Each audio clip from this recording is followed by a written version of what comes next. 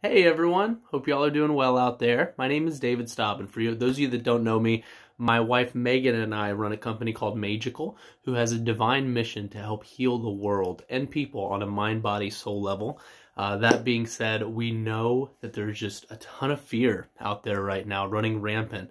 And it's a bit understandable, but at the same time, it's more important than ever that we don't focus on fear, that we go within and we focus on best case scenario in love. So, that being said, I think this could be a very powerful time where instead of we as a collective focus on what can we get out of the situation focus on what can we give. If we do that together i think we can come out so much more unified and all this is going to pass over and we'll get right back to life and we'll come back to life even stronger. So on that note megan and i are very excited to be launching something for we want to kind of do our part for the collective and give back. So we're going to be doing a weekly live webinar that is going to be based around coaching, um, life coaching, positive mindset reprogramming, gratitude, perspective.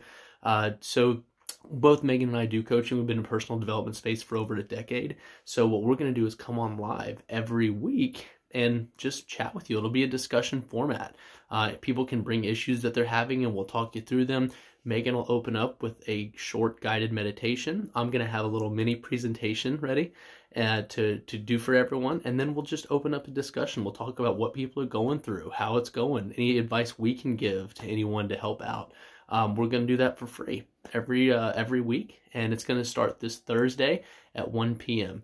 So um, it's totally free. Just show up and chat and bring some issues and listen and be ready to learn and you know interact and have a good time.